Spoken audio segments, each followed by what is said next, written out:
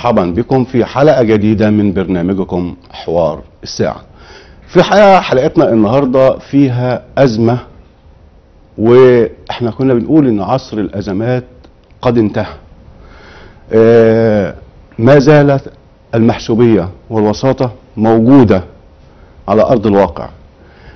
آه، الحلقة النهاردة مهمة جدا ويا ريت إن يكون المسؤولين بيشوفونا دلوقتي عشان يعرفوا إن آه، آه، في بالفعل أزمات بتواجه المواطنين وبالفعل في محسوبية وفي واسطة إلى الآن والعصر ده قد آه، انتهى تماما من حياتنا كمصريين. الأزمة دي هي خط غاز أو ثلاث خطوط غاز في قرية ال- التربانة مركز كفر الدوار بحيرة والمفروض المفروض إن آه، مشروع كبير زي خط الغاز ده آه، بيجي في الأول آه، بيتعمل عليه دراسة الدراسه دي طبعا بتتكون من الموقع الجغرافي امتداد الخط بيبدأ منين وبينتهي فين ميزانية المشروع. لما يحدث عكس اللي موجود في الخريطة بنسميها أزمة أو يعني فساد. وأنا ما بحبش أقول إن في فساد. ولكن المشكلة اللي موجودة معانا النهارده دي الواقع بتاعها. فإحنا لازم نكون آه، آه، في عندنا شفافية في نقل الحدث وبالفعل ده الواقع الموجود وبتواجهه آه، المواطنين حاليا في تنفيذ المشروع. هنعرف الأزمة كيف بدأت وحجم الأزمة وصلت لفين من خلال ضيوفنا النهارده وهم القائمين على حل هذه الأزمة آه، في محافظة البحيرة مركز كفر الدوار وهم الأستاذ محمد عدريشة المدير التنفيذي لمنظمة العدل المصرية بالبحيرة. أستاذ محمد أهلا بيك. أهلا وسهلا وأيضا المحامي المسؤول عن هذه المشاكل الموجودة في آه، حلول الأزمة اللي إحنا بنتكلم عليها الأستاذ محمود رمضان الشربيني محامي بالنقض أهلا يا أستاذ محمود. أهلا وسهلا أهلا وسهلا وأهلا بالساده المشاهدين أهلا بيك يا فندم. أهلا آه، أستاذ محمود سعادتك أنت المحامي ال- ال- اللي ماسك الموضوع وماسك المشاكل اللي حصلت من خلال هذه الأزمة. تمام. أنا عايز أعرف الأول طبيعة الأزمة إزاي ابتدت؟ يعني آه، في دي خطوط غاز داخلة لكي تخدم هذه المنطقة. هو آه، في بداية الكلام هو المشروع دي شانه شانه أي مشروع قومي. تمام. والناس بتسمع عن مشروع قومي آه، سواء طريق عام أو مادة خطوط غاز أو آه، كباري أي مشروع قومي شانه شأن أي مشروع قومي. ده الناس أكيد. تقبلوا الموضوع آه. على أساس إن هو يعدي عادي مطابق للقرار آه، قرار نزع الملكية أو قرار الوزير المختص. واخد بال حضرتك وتعاملنا مع الموضوع عادي. جينا بقى إيه أما لما جم حطوا العلامات والإرشادات حطوها في أماكن معينة. بعد ما حطوا العلامات والإرشادات وهم جايين من الدوري داخلين على محطة دي الشركة المنفذة. الشركة المنفذة. تمام. تبين بعد شوية إن الناس اتنقل الخط في أرضية. طب هو في بداية الأمر ما كنتش بتعلم عندي. إيه اللي حصل؟ مم. جاء بقينا نبحث آه، آه، آه، اتجهنا اتجاه تاني بقى ندور الموضوع دي جه إزاي. جبنا قرار نزع الملكيه واطلعنا عليه وجبنا مهندسين آه، مساحين خاص مهندس خاص يعني آه يعني إيه إيه إنتوا آه، كأهالي يعني آه، آه، جبتوا. مساح خاص عايزين نتأكد آه الموضوع عندنا ولا مش عندنا مم. مم. فعلا خد قرار نزع الملكيه وطبقه على الطبيعة لا مش مطابق لمساره على الطبيعة مم. بدأنا نتعامل مع المهندسين والقائمين على تنفيذ المشروع تعالوا اقنعونا إن الخط عندنا. تمام. يعني فهمني الخط دي. وريني الخريط بتاعتك وفهمني وهات مهندس مختص يفهمني. من أول ما نزل من الدولي لغايه لغاية ما عدى من ارضي جاي آه. إزاي؟ وفين النقاط والحدثيات والخرائط الأصلية؟ مم. قعدوا مطلونا. طيب هنجيبوا خريطة؟ يجيبوا لنا خرائط أصلا مش أصلية؟ لا إحنا عايزين الخريطة الأصلية. برضه ما فيش فايدة. طب هنجيبها بكرة طب هنجيبها بعده ما في مش ما مش مت مش جايين معانا السكة خالص. آه. بدأنا بقى نتعامل إزاي؟ نلجأ للقنوات الشرعية. القنوات الشرعية اللي هي إيه؟ نلجأ للقضاء والنيابة. هي اللي تفصل بينهم تفصل بين آه. بدأنا بعمل محضر 561 و560 مم. عن طريق شرطة مركز كف الدوار مم. خدنا جواب خطاب موجه لل للوحدة المحلية كومبانيه تبيع ومجلس مدينة ومركز كف الدوار مم. لمطابقة القرار على الطبيعة. إحنا مجلس مدينة تعالى طبقنا لك رد على الط- على الطبيعة. آه. باعتبار إيه إن مجلس المدينة ليه إحنا اخترنا مجلس المدينة لأن المحافظ المحافظ طرف في القرار. إحنا بدأت ما بنعترضش على أي تنفيذ يعني إحنا م- أنت مش معترض على التنفيذ ولكن. أنت معترض على التغيير اللي آه حصل. التغيير القرار لأن آه. دي مشروع قومي إحنا كلنا مع المشاريع القومية. تمام. المحافظ طرف في الموضوع موافق على القرار باعتباره محافظ بحق آه. وبتنفذ في نطاق محافظته. تمام. بالتالي لازم يوافق مم. من ضمن ال- ال- المعنيين بالامر مجلس المدينة ماطلنا كتير.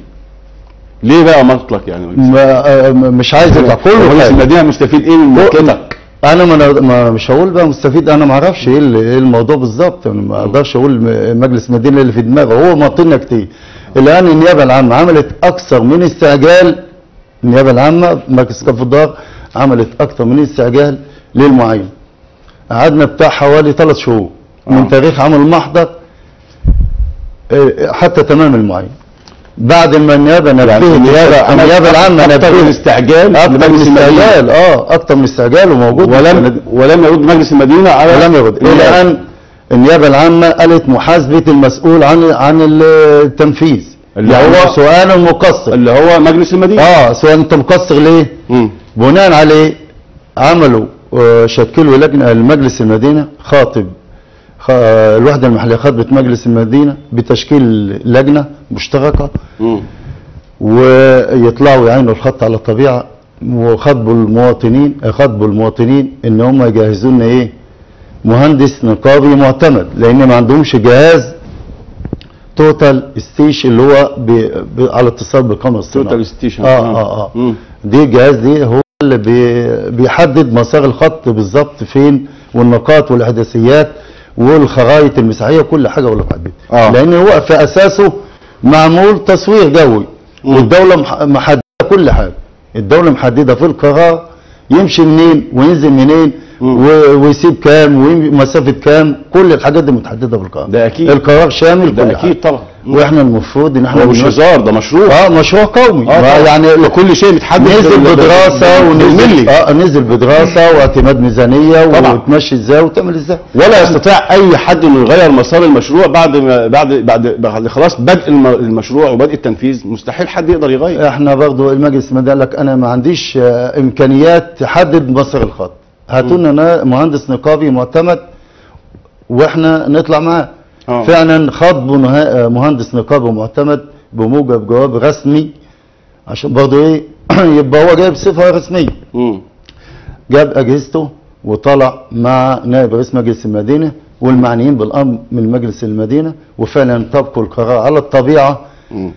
وانتهت النتيجة في التقرير إن مسار الخط غير مطابق لقرار نزل الملكيه من أصل.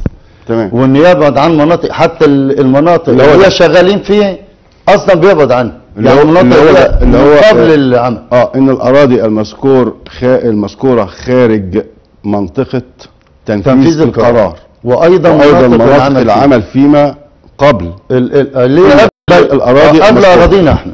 آه. هي نفسها كمان مش بمسار يعني, يعني من معنى كده إن الخط اتنقل مسافة كبيرة جدا اتنقل عن مسافة كبيرة. الموجود جوه الخريطة الموجود اللي جوه تم الخريطة اللي تم التق- توقيع القرار عليها. حضرتك خريطة معتمدة من مجلس المدينة موجودة إمام سيادتك بس أنا قبل ما أتنقل الخريطه لا قبل ما أتنقل الخريطة أنا عايز أعرف حجم الأضرار اللي وقعت على الأهالي اللي اللي, اللي, اللي بتنفذ حاليا المشروع عندهم. بسم الله الرحمن الرحيم. سعادتك الأهالي دولت من المزارعين البسطاء. عندهم مساحات صغيرة. مساحاتهم الصغيرة ديت خارج نطاق تنفيذ الخط زي ما تفضل الأستاذ محمود ووضح لحضرتك. آه، إلا إن هم حاسين مش من الناحية المادية بس لا هم حاسين بقيمة الظلم الواقع عليهم نفسيا ومعنويا وادبيا من خلال نقل الخط ده. ممكن يكون محاباة لحد ممكن يكون بتعديل. إلا إن لما الناس دول طلبوا مبرر لنقل الخط من أراضي تبعد عن أراضيهم بحوالي 230 متر إلى أراضيهم بالمخالفة لقرار السيد وزير البترول. آه، اتجهوا اتجاه للمحافظة. فتفضل السيد السكرتير العام ب- ب- بنزول عضو من المتابعه مم. وشاف الخط على الطبيعة. مم. وقعد في مجلس المدينة في حضور نائب رئيس المدينة ورئيس الوحدة المحلية لقريه كومبانية أبو قير. اللي هي كوم الطرفاية دي يعني مندوب من. المحافظة نزل ومع نائب رئيس مع- مجلس مدينة البحيرة نائب نائب رئيس مجلس الدوار. كفر الدوار مع آه. رئيس الوحدة المحلية لقرية كومبانية أبو قير مع مدير الإدارة الهندسية بمجلس مدينة كفر الدوار مع رئيس ال ال الإدارة الهندسية في الوحدة المحلية آه ومسؤول التعديات طيب دي لجنة كاملة دي لجنة كاملة اللجنة تعذر قرار. قالوا, قالوا تعذر علينا آه لأن إحنا مش فنيين تعذر علينا تحديد ما إذا كانت الخطوط ديت داخل نطاق تنفيذ القرار من عدمه مم. واستقروا إن إحنا نجيب مكتب استشاري على حساب المتضررين إحنا أنا بقصد بحنا ديت اللجنة مش تمام. أنا. اللجنة استقرت إن هم يجيبوا آه، جهاز آه، total station ومهندس استشاري معتمد ومكتب هندسي لتحديد ما إذا كان القرار داخل حيز تنفيذ قرار معالي وزير البترول من عدمه. وده الإجراء الطبيعي وده المفروض اللجنة تاخده.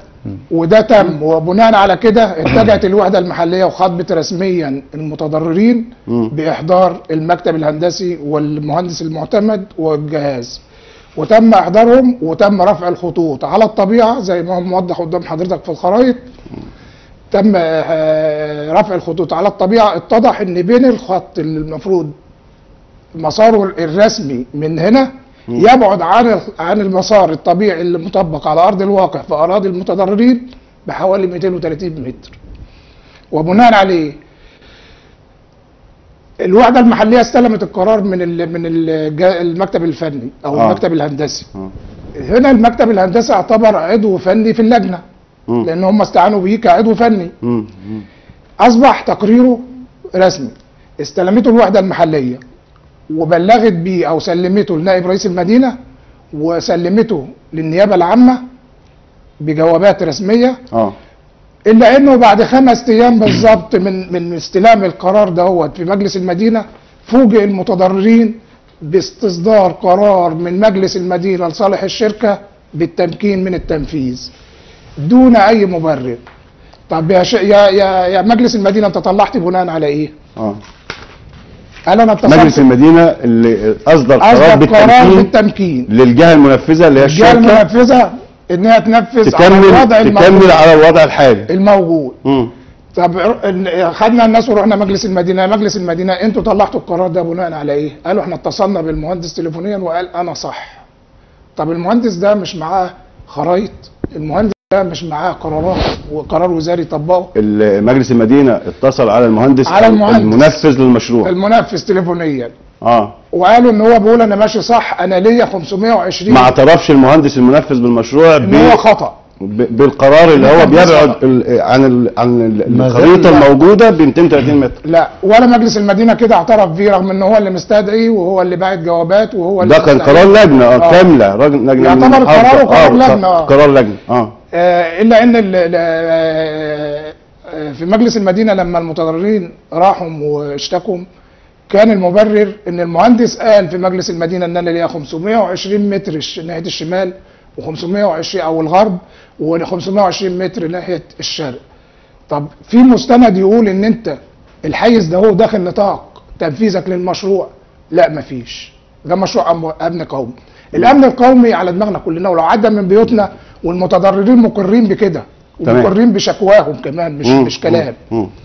فما كان بعد كده من المتضررين إلا إنهم اتجهوا للسيد معالي الوزير محافظ البحيرة ولما السيد الوزير معام- محافظ البحيرة عرف مشكلتهم تدخل وخد إجراءات في هذا النطاق بتحويل الموضوع بكامل رمته للشؤون القانونية في المحافظة للتحقيق وما زال التحقيق جاري حتى الآن طيب آه نرجع تاني للقرار اللي اتخذه المجلس المدينة بعد آه القرار 242 بعد الجهاز آه.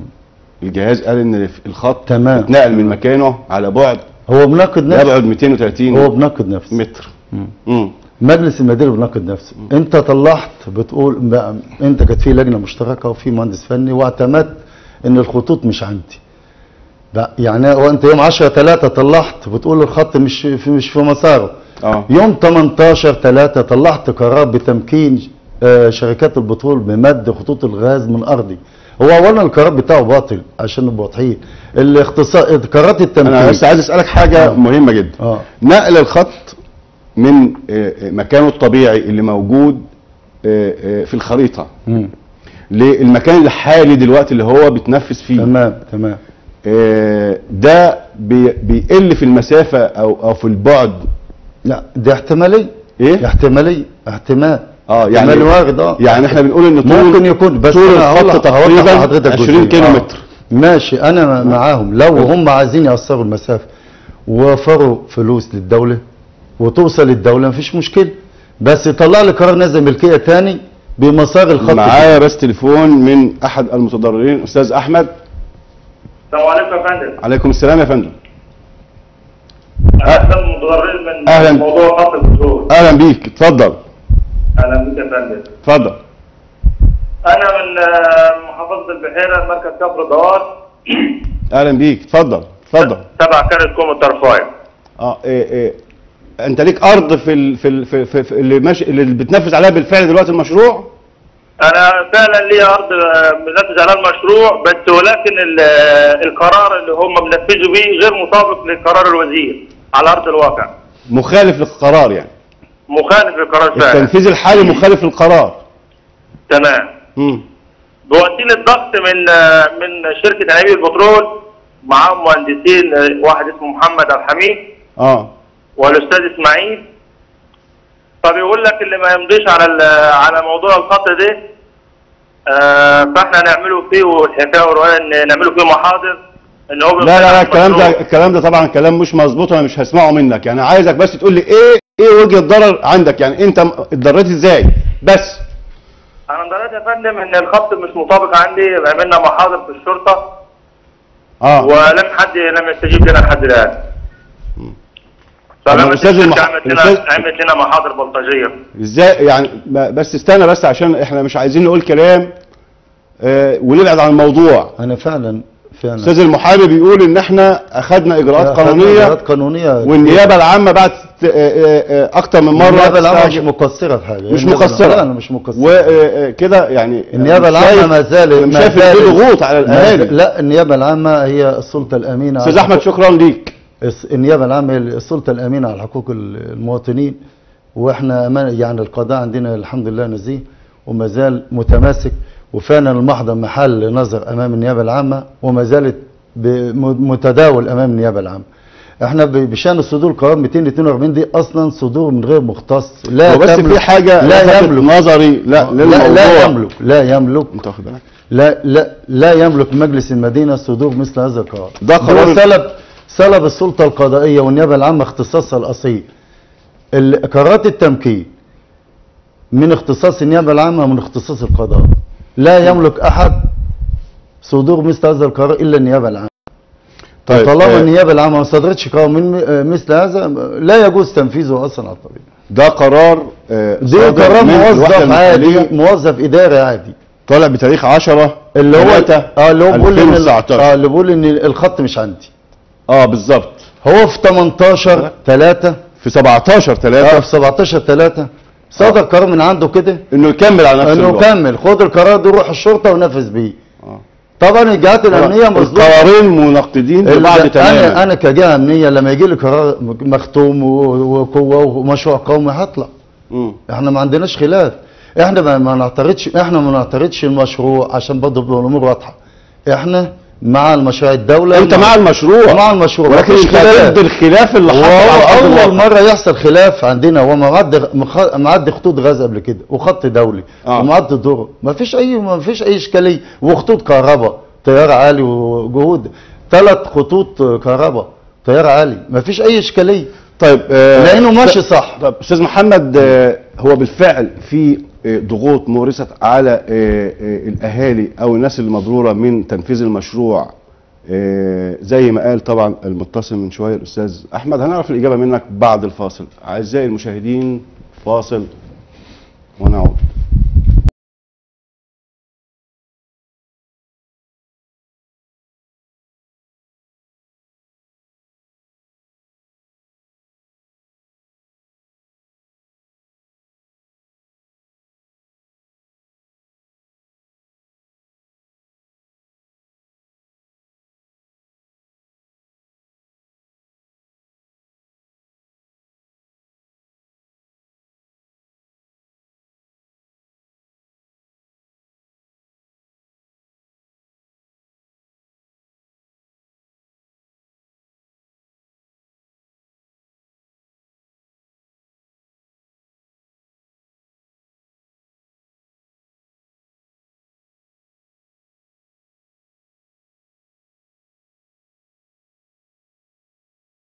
من بعض أهالي قرية كوم الطرفايه التابعه لمركز كفر الدوار البحيرة بتضررهم بقيام شركة أنابيب البترول بتغيير آه، خط سير آه، الغاز الواصل بأراضيهم والتعدي على على أراضيهم بالمخالفة الق- قرار السيد وزير البترول رقم 1461 لسنة 2018 الص- الصادر من وزير من سيد وزير البترول والثروه الم- والثروه المعدنية. آه، قام بعض بعض المسؤولين بالشركة المذكورة بالتعاون مع بعض أصحاب آه، النفوذ بالدائرة التنفيذية بمجلس المدينة آه، بتغيير خط خط سير الأنابيب الموصوف وفقا للخريطة المعروضة على السيد الوزير. انتقلت كاميرا البرنامج للوقوف على الحقيقة على أرض الواقع وبال- وبالمقابلة مع السيد محمود رمضان الشربين المحامي سألناه أستاذ محمود حضرتك بتتضرر من تعدي الشركة المذكورة على أراضي آه، موكلينك. ممكن نعرف ال- الوجه أو الرأي القانوني بالنسبة لقيام الشركة وكل المسؤولين بالتعدي من من من, الوجهه القانونيه من رأي حضرتك؟ تمام. بسم الله الرحمن الرحيم. هو بالنسبة لحضرتك هو صدر قرار من وزير البترول والثروة المعدنية رقم 1461 2018 بصدد مد ثلاث خطوط غاز يتجه من خورشيد إلى شركة آه، كهرباوي لمدها ب- بالغاز والتشغيل. القرار دي صادر بنقاط واحداثيات وخرائط مساحية معينة. عليهم ال- القرار صادر محدد مسار الخطوط محدد مسار الخطوط والنقاط الأساسية اللي عدوا منها. القرار دي على الطبيعة لا ينطبق تماما. قامت الشركة المنفذة للقرار بتغيير مسار الخطوط تماما. بعدت عن الخط الأساسي اللي هو مطابق لقرار نزل الملكية لو هما هيطبقوا. القرار بالظبط يبعد عن أرض الموكلين موكلين بحوالي 230 متر. انحرفوا بالسلطة وانحرفوا عن مسار الخط عن مسار عن قرار نزل الملكية. ممكن نعرف إيه نوع الضرر الواقع عليك؟ الضرر اللي وقع عليا إن الخطوط الأنابيب دي مش عندي فرد هي جت ناس تانية رميته عليها المفروض تنزل فرد تانية جت عندي في الأرض بتاعتي وده هيبوظ عندي آه، الأرض طبعا قريبة من السكن وأرض مستقبلها سكن. فكده آه، الأرض ديت آه، خلاص هت- هتروح و- والزراعة فيها تعتبر شبه منتهية. بعد نقدر نفهم إن الضرر الضرر الأكبر واقع عليك ضرر مادي؟ ضرر مادي طبعا. هل تم التواصل معاك من قبل أي من المسؤولين؟ مفيش حد تواصل معانا خالص. مفيش أي عروض أو- أي تواصل ولا حاجة خالص. طب أنت إيه مطالبك لو أتيحت ليك لو اتيحت ليك لقاء السيد رئيس الجمهورية تحب تقول له إيه؟ إحنا رئي... إحنا رئيس الجمهورية طبعا ما ما يعجبهوش اللي إحنا فيه ده. ما يعجبهوش وبعدين خط البترول المفروض يبعد عن الكتلة السكنية. هم بيجبروك في الكتلة السكنية. إحنا عايزين من سيد رئيس الجمهورية إن يرفع عننا الظلم. إحنا ناس مظلومين في المشوار ده. طبعا هنروح نشتكوا لمين؟ إحنا ملناش إلا ربنا ورئيس الجمهورية. وطبعا إحنا اغلبنا شكاوي. إحنا ما بنناموش الليل. لأن طبعا في طبعا تجسر في الوحدة المحلية. ورئيس المدينة واخد بالك انت؟ وكل الجهات. إحنا نروح لمين طيب؟ نسيب أراضينا ونمشوا. إحنا ملناش الا حتة الأرض ديت. انت ازرع شجرة النهارده. ازرع شجرة النهارده. أقل من 15 سنه ما بتطلعش. طب ليه الإهدار المال العام هو ده مش إهدار مال عام؟ وطبعا إهدار مال عام شجر بيقطع وطبعا بنصرف فلوسه. طب ما نمشيش عدل ليه؟ إحنا عايزين نمشي عدل وطبق قرار الوزير. كان طبق قرار الوزير لو في بيوتنا هنهدونا على الدور. رفع الظلم الواقع على كاهل المواطنين. وارجاع الحق لأهله وتنفيذ قرار وزير البترول اللي إحنا كلنا متمسكين بتنفيذه ولا نعارض تنفيذه نطالب بتنفيذ القرار على الطبيعة بإشراف وتدخل من السيد اللواء محافظ البحيرة الأب لجميع رعاياه بمحافظة البحيرة. وكذلك أطالب السيد مدير الأمن برفع الأذى الواقع على المتضررين والضغوط الواقع عليهم. والنهاردة كنا عنده ومشكورا تدخل. وعمل آه، الواجب معانا وزياده بس أنا بطالب حضرته إنه يتدخل ويتن مساند الناس ديت عشان يرجع لهم حقوقهم اللي ضيعوها آه، الوحدة المحلية لمركز ومدينة كفر الدوار بالإضافة للوحدة ال- المحلية لكوبانيه أبو قير اللي انتشر فيها الفساد والكل بيطالب بإقالة مجموعة المفسدين بالمجلسين إلا أنه دون استجابة.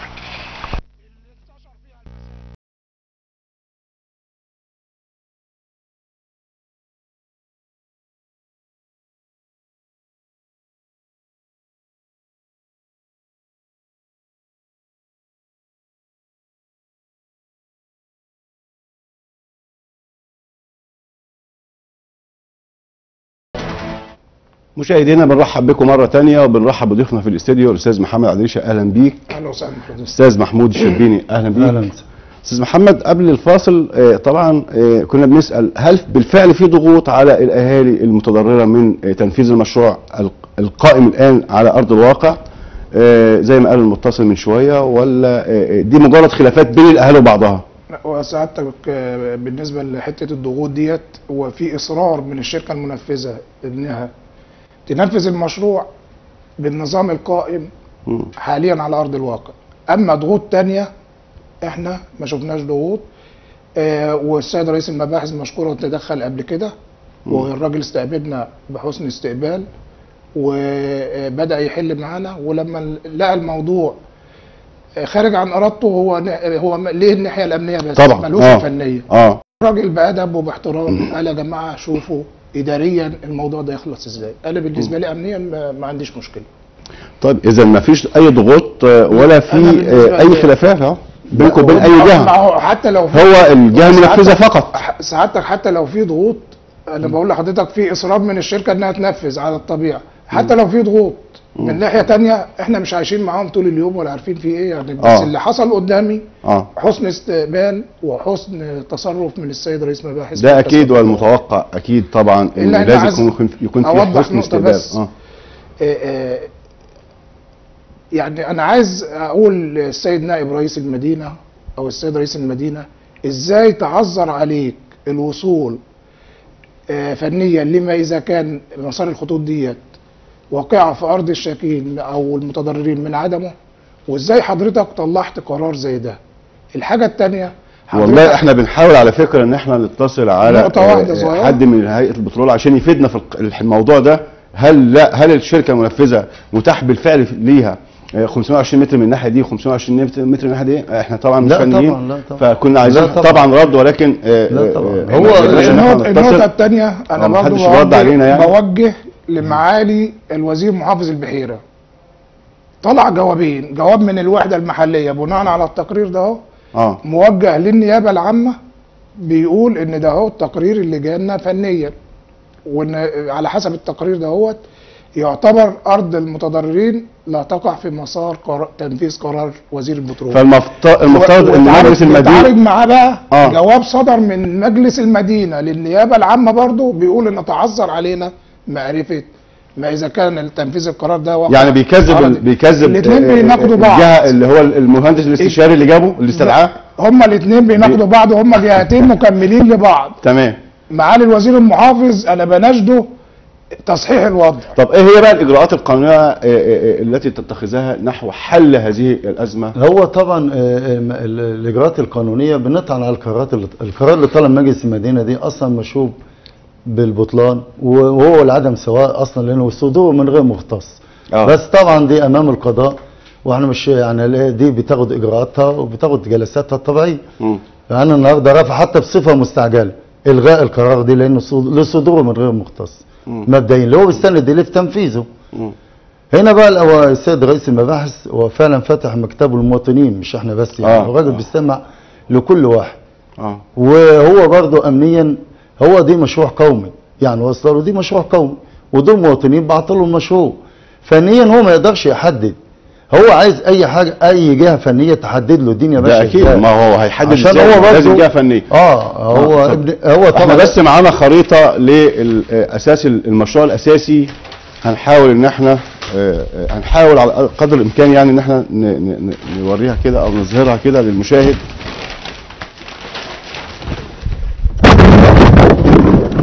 ده ده الخط البرتقالي ده يا جماعة اللي هو المسار الطبيعي الخط البرتقالي ده هو اللي مسار هو ال- ال- المسار. الطبيعي للخط اللي المفروض إن الشركة المنفذة تنفذه. تنفذه وده طبعا آه، اللي اتعملت عليه دراسة المشروع وتحدد. أبعاده وتحدد الميزانية بناء على الخط ده لما يتغير مكان الخط ده أكيد بتتغير الميزانية وتتغير التكلفة آه، طبعا أصحاب المشكلة بيقولوا إن ال- ال- ال- التنفيذ في- على المكان الحالي بيقل في المسافة عن المكان اللي موجود في الخريطة اللي تم عليها إصدار القرار.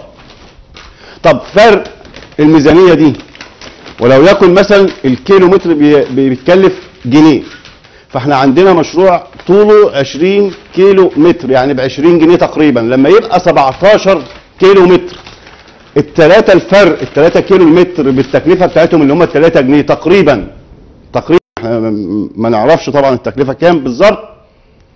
راحة فين؟ وراحت لمين؟ ومين المستفيد؟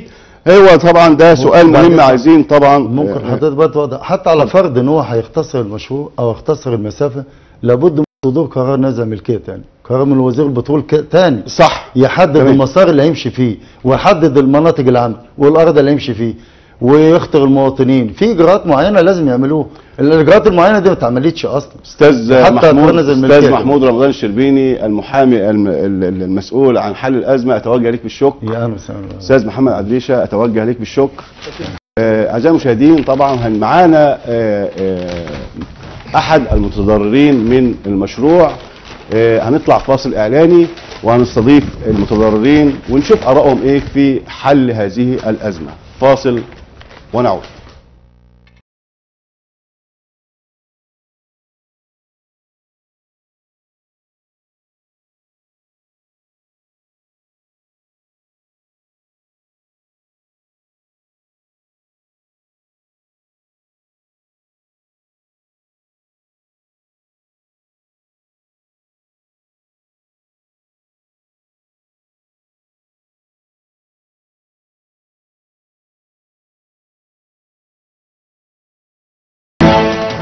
مشاهدينا مشاهدينا عدنا إليكم من جديد. آه، بنرحب بكم مرة ثانية وبنرحب بضيوفنا في الاستديو الأستاذ رضا عباس أحد المتضررين. أستاذ رضا أهلا بيك. أهلا بحضرتك. وأيضا الأستاذ محمد سعد عمر أحد المتضررين. أستاذ أهلا محمد بيك، أهلا أهلا بيك. أهلا بيك.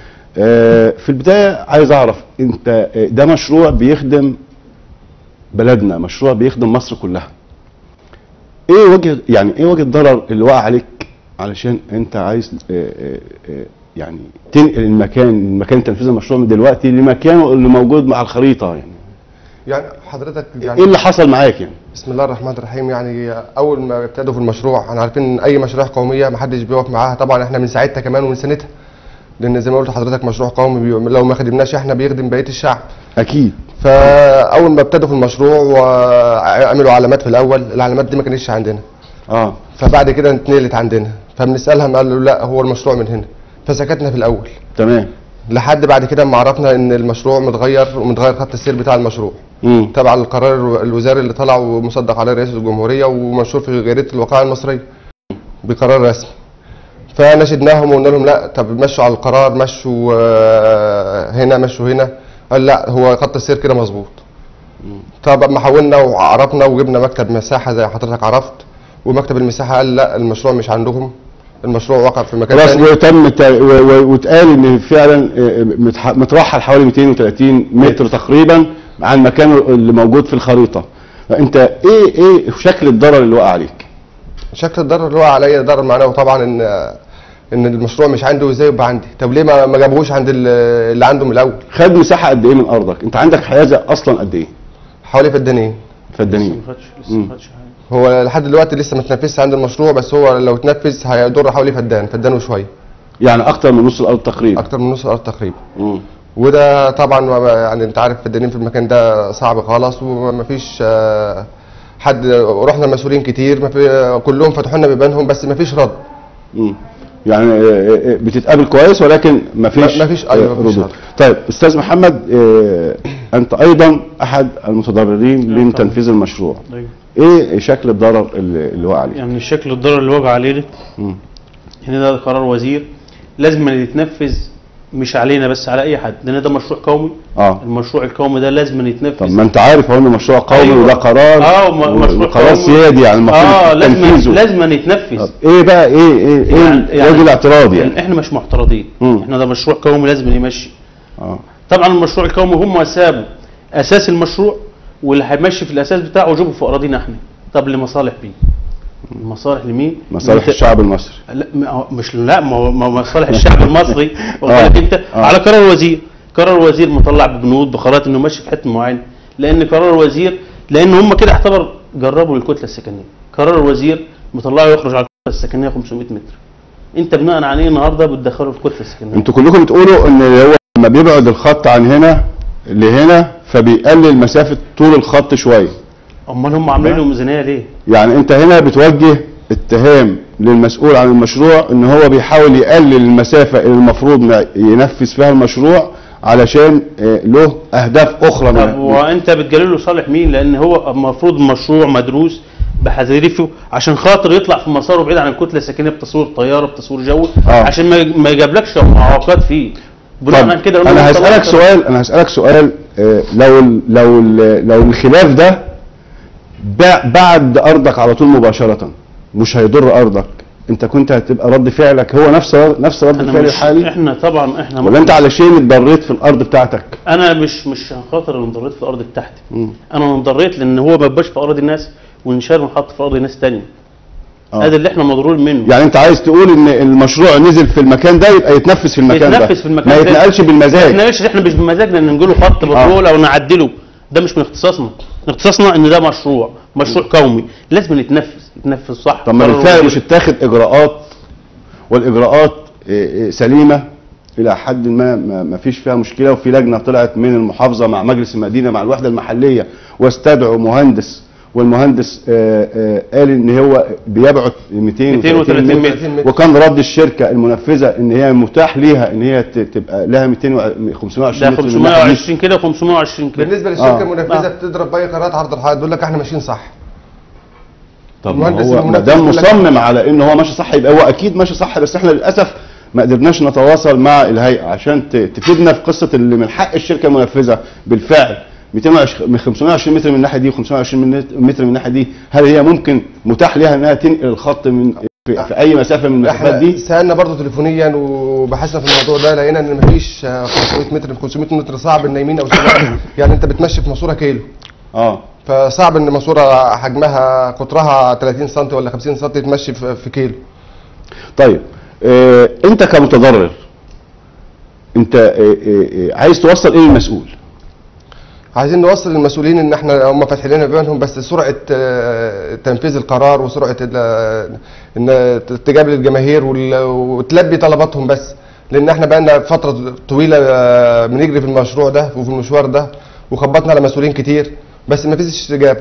طيب مصلحة الشخص يعني هنا عندك أهم من المصلحة العامة؟ ولا لا، أنت المص- بتحسبوها إزاي؟ المصلحة العامة. هي فوق كل شيء. وإحنا طبعا طب ما هو المسؤول هنا مش مقصر وفاتح بابه ليك وبيستقبلك كويس ماشي ما هو ولكن أنت مصمم إن هو يتنقل من الأرض الشركة طبعا اللي هي بتنفذ بتقول ده مشروع قومي طبعا ده هو أكيد مشروع آه قومي. مشروع قومي إحنا ما حدش محترم المشروع القومي المشروع القومي ماشي على قرار الوزير والخرائط معتمدة لو سمحت آه. هو مش معترضين الوزير على حاجة. طلع خريطة وطلع طيران يصور وطلع كل ده هم ما كانوش عارفين مسار الخط الصحيح هيمشي إزاي هم أكيد عملوا تصوير طيران وعملوا مسار صح. طب ما أكيد. هو دراسة المشروع مش سهلة. المشروع بيبتدي بدراسة وبعدين تحديد موقع جغرافي وبعدين ميزانية. وبعدين يصدر قرار تنفيذ في الآخر خالص. بس إحنا بقى عايزين وده اللي حصل ودي الاجراءات اللي حصلت بالفعل. عايزين نلتزم بخط السير اللي طلعه. آه يعني. أنتوا أنتوا طلباتكم من السادة المسؤولين الت- الالتزام بالخطوط آه، تنفيذ الخط في مكانه الطبيعي بس. اللي مصور بالخريطة. بس مفيش مشكلة. والقرار اللي طالع من الوزير. إحنا بنطالب إن المشروع يتنفذ على قرار الوزير. إحنا ما احناش معترضين. آه. ولا ولا معترضين للمشروع. إحنا عايزين المشروع يمشي على قرار الوزير زي ما طلعوا قرار الوزير. يتطبق على الناس بحالها. طب أنت عندك تمتلك آه، قد إيه أرض في ال في, ال في أنا بتنفذ على 40 المشروع جراد. يعني تقريبا فدان فدان ونص. ونص. آه فدان ونص. طب آه، المشروع خد منه تقريبا لا ما إيه؟ خدش حاجة. إحنا طبعا قبل ال- قبل المشروع آه. طبعا لما هم جم قالوا الخط ال- ال- المنفذين للمشروع واللي تبع الزراعة. قالوا الخط في الأراضي دي آه فحبة قالوا في الأراضي دي قلنا لهم لا طالما أنتوا كده بتنجلهم يبقى ادونا ما يثبت. إن الخط عندي. يعني بعد نقل الخط هيجي عند أرضك ولا مش هيجي عند أرضك؟ لا هو لو بعد الخط مش هيجي عند ارض لا لا في الحالي في في الحالي الحل التنفيذ الحالي. في التنفيذ الحل يبعد عن أرضي برضك لكن هم ما أنت متضرر إزاي؟ متضرر إزاي؟ مم. ما أنا لما قلت لهم في الأول خالص لما جاء جاء الخط هنا وهنا فقلت لهم المسؤولين واللي كان المساح بتاع شركة البترول وأعضاء من الجمعية فقلت لهم أنتوا كده بتحركوا من الخط اليمين والشمال أنا عارف أنتوا ماشيين كده بالبركة وما- أنا لازم نكلم واحد مهندس. أيوة. أنت بناء عن إيه قلت الخط هنا وحبه قلت لي الخط عن هنا. قال لا أصل هو جاي كده. قلت له لا طالما هو أنت كده اديني ما يثبت. اديني ما يثبت. يعني أنتوا دلوقتي؟ مش معترضين ولكن أنتوا عايزين عايزين المشروع يتنفذ على على حسب قرار- على القرار قرار الوزاري. طيب آه لكم طلبات تانية عايزين تقولوها للمسؤول؟ بناء عن كده. بس آه، المسؤولين يمشوا بما يرضي الله.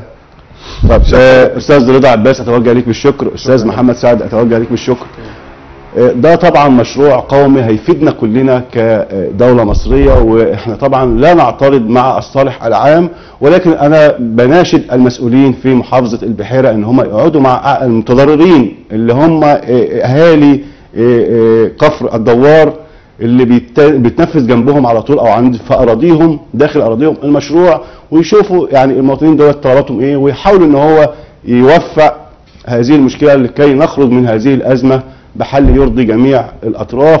وطبعا في المقام الأول مصلحة الوطن فوق كل اعتبار. نتمنى أن تظل مصر دائما وابدا آه، قد الدنيا وأم الدنيا زي ما قال آه، آه، السيد فخامة رئيس الجمهورية عبد الفتاح السيسي ونشوف مصر دايما عظيمة وفي مقدمة شعوب العالم. وبكده نكون وصلنا لنهاية حلقتنا النهاردة. استودعكم الله والسلام عليكم ورحمة الله وبركاته.